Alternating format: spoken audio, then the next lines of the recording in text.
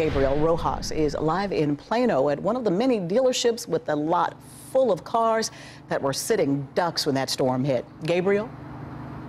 Robbie, when I asked a manager a few minutes ago how many cars they had damage here, he said they're still counting. Take a look at this windshield and the dents all over the hood of this car. It's what you'll find across this lot and across Collin County.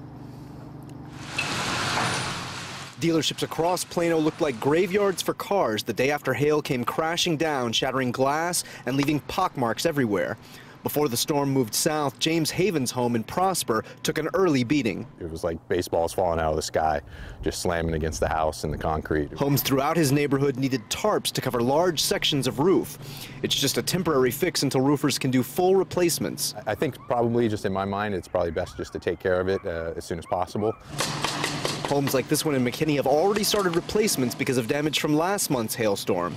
But roofer Brandon Luby warns homeowners not to act too fast. I do advise people to wait until after hail season's over. Give it about another month, month and a half at the minimum because like I said, they, you know, I, I, saw roofs go on yesterday and the day before that will be getting repaired after the storm once again. That's the advice he gave his own mother.